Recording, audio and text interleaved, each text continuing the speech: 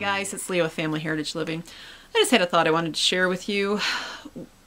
Ron and I are kind of in, we're not in, an, uh, you know, a standalone group because there are actually several of us out there. There's just not many compared to the vast majority um, of, we're outnumbered, okay, so we're outnumbered. We're in a, in a unique group, I believe, where we are grandparent age, I'll be 48 this year, and Ron is going to be headed to 56. And many of our friends that we've known for years are grandparents now. And we are in raising our second set of children. You know, we have a four-year-old and we have a seven-year-old, and then we have the 26-year-old and the 21-year-old.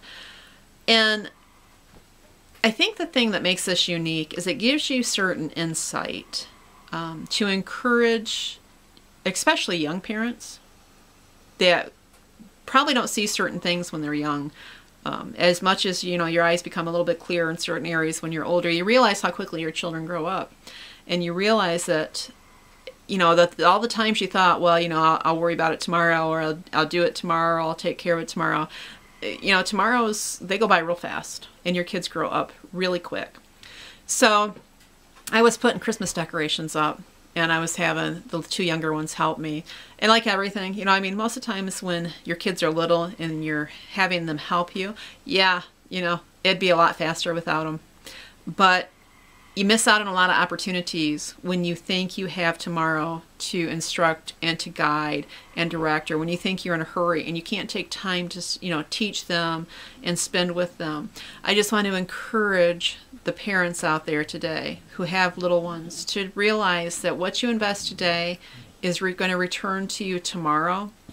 Um, there's nothing so small that can't be instructed with a child, they can't learn from it, and there's nothing so important that can't be slowed down in your life where your parent where you can't include those children in those things to make them feel like they are being part of your life. Um, a lot of us, I think a lot of us end up alienating our, our little ones, not intentionally, but because they're little and things you know, takes some expertise. Certain things take some expertise, and certain times we're just we're just busy. I mean, life is busy and it's stressful and it's hectic. But you will you will regret it if you try to speed through these days while they're little. Enjoy every minute. Um, embrace them because one day they're going to be older and have a family of their own and I think that's why the parent people we know that are grandparents now, and, and even like our parents, you know, you hear all these things about, wow, you know, they didn't really realize how great being a grandparent was until they had their grandchildren. I think it's because a lot of people can understand once they see their grandchildren what they missed out with their children.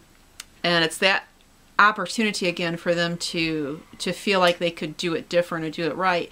And that's why I say I feel like Ron and I have that that moment in time where few have to have little ones at our age where we can see the importance of just slowing down and not rushing through. And I'm not saying I'm not guilty. Boy, oh boy, it seems like I've had a harder time and since with these littler ones slowing down than I did with the first two. And it's because, you know, I, I do work now from home and we are extremely more into um, having to create a homestead. I mean, there's a lot of things and factors, and maybe that's so the two things combined, we can stop and say, you know what, y you need to slow down. You need to think about it um, because they're going to grow up and they're going to grow up fast, and you just don't want to miss it because it's it's a blessing you'll never get back.